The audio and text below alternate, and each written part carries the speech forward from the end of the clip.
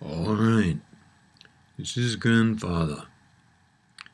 Now I know that you're worried about the world situation, and I can understand that.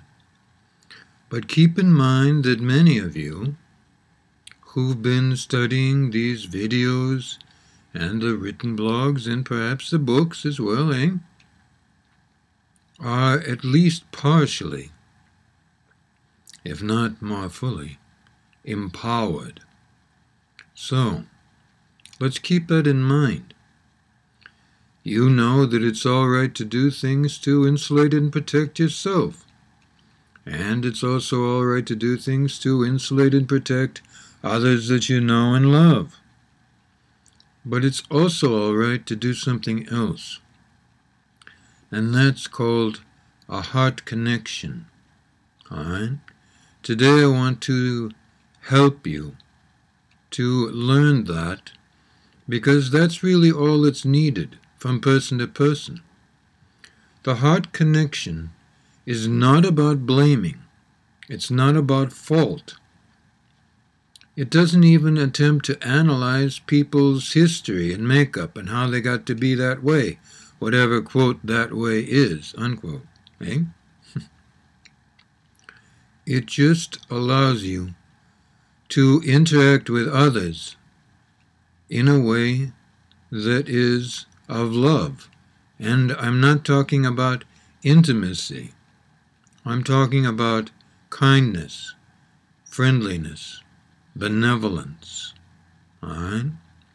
So, first off, you know what I'm going to say, but I have to say it, eh?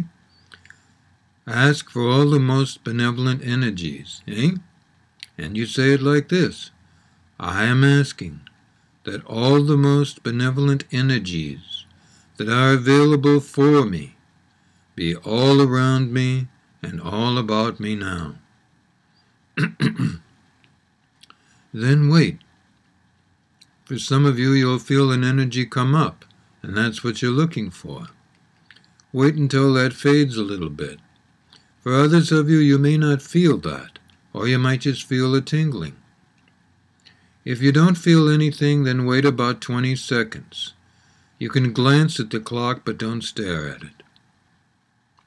Then say, I am asking that all human beings on the earth now be totally united with their soul selves and their heart selves in such a way as kindness and benevolence is the day to day experience for us all.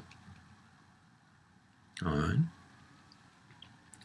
If you feel an energy come up during that, then simply pause until uh, it fades a bit. That's uh, beings, light beings, angels, guides, and so on, will be helping to bring that about. And it will take as long as it takes. And wait till it fades a bit. Then go on with the words. It is perfectly all right to write these words down and uh, read them. Try to do the exact words I've mentioned because that will work. All right? Now, for many of you, you're involved in doing true magic or something that's a bit more strong, more influential. All right? Not commanding or demanding, not forcing, but influential, meaning encouraging in a benevolent way. This is what to do for those of you who go out on the land and do more. Wait, if you can, until either the sun is at high noon in your location. All right? That would be best. But if you have to do this at night. Then wait until it's the middle of the moon cycle, meaning the middle of the night, all right? As close as you can get to that. Don't worry if it's a couple minutes one way or the other, all right? Just a couple, meaning three or four minutes one way or the other. And that will work almost as well. Then, standing in your usual position on the land, raise your arms up over your head so that your palms are touching together. It doesn't have to be absolutely even, but your palms must be touching each other as best you can.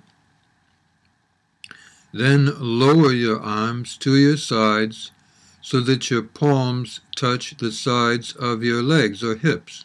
All right? Then relax your arms. Then, looking straight forward with your eyes open, say this I am asking that the heart connection between all human beings now be greatly amplified so we can feel the goodness in each other and interact with each other with the same or more goodness and benevolence. After you say that, make one complete rotation to the left and end up facing the direction you started in.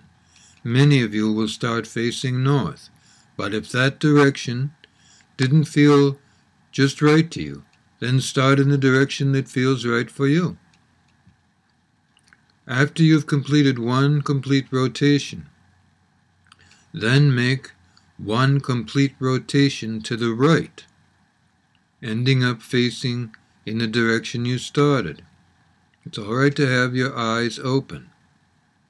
Now, rotation simply means you're spinning essentially in place, but I don't expect you to do spins. Just move slowly, all right, so that you stay in the same place and end up facing the direction you started.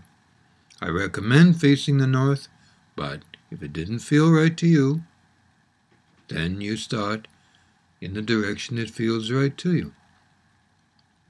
After you are done with that, take three side steps to the left.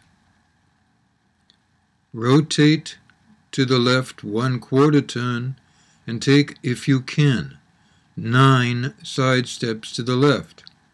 If you cannot take that many, take as many as you can. Then, rotating to the left, turn until you are facing the direction you need to go and walk on with your life. For those of you doing this kind of thing, it is true magic. And that's worth doing. Now, I want you to understand that there are going to continue to be earth changes. Mother Earth is not entirely comfortable with some things going on on the planet that humans are doing. You know this. War, of course. She's not happy with that. But she also wants you to be receptive to new technologies or even the uh, pursuit of old technologies, for example, the technology of having a windmill that is attached to a pump and drives the pump and brings water up that is fresh and clear for animals or human beings. That's old technology, but it still works very well. So, be aware that newer technologies Advanced versions of solar energy and wind are becoming much more widely available, and there will be things that are new beyond that will become available, all right? And I mean to the general public. They will become available in the next three to five years, perhaps sooner, that will make you think that you've entered a science fiction world.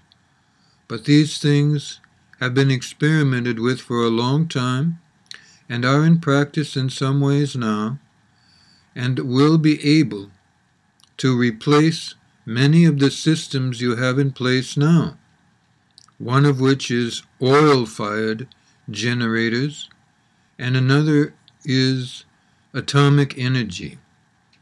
you will still be able to use the same distribution systems to get this electricity around so that everything can run smoothly. And some of you will even be using solar panels on the roof of your homes and so on, so that you can have a, a little energy that you can use as a backup to that which is available from your utility companies and so on. And you know about these things.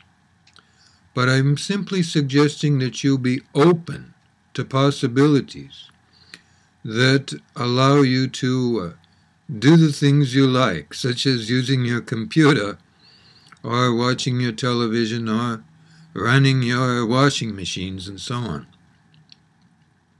Because Mother Earth is not comfortable with atomic energy. It would be fine if atomic energy was at a very advanced state, but it's not there yet. In its most advanced state, there is absolutely no uh, toxic residue whatsoever. Everything is used. And it requires a very small amount of original product to bring that about. But for now, Mother Earth has actually begun attempting to dismantle these plants herself. Please do not blame the people who have built these power plants. They really thought in the beginning that it was going to be the answer to the electrical uh, need that could not be met by simply oil fired generators. Remember, these times are not about blaming, although many people will be seduced, meaning someone will make a persuasive argument that this group or that group is to blame or that this business or that business is at fault, or that because people are greedy, they're just doing this and doing that. But remember this. In fact, you are, and how many times have you heard this? You are all in this together. And the reason living prayer, benevolent magic, and true magic works is that all souls, all beings, all human beings, give their permission that some change is going to take place. I grant that this happens at the soul level, but you'd be surprised how many people, even people in businesses or in other groups of people that you have not trusted for some reason, even in those groups, at least 80% of those people are giving their permission and maybe not everyone has to give the permission for things you request to come about. But over time, more and more people will be giving permission. And that's why living prayer, benevolent magic, true magic, and just magic in general that is benevolent will work faster and better. So, please, no blaming. Stop trying to say, this person and that person created this problem. Stop trying to say this group and that group are at fault. Please stop saying that this business or that business is trying to destroy us all. You are all in this together. Whether you work for the government, whether you work for business, whether you've got a farm, whether you work for yourself whether you're doing one of the most important jobs on the planet, which is raising children and taking care of others, whether you are teaching, whether you are learning, whether you are simply existing as best you know how. You are all in this together. So, please accept that is a fact good life.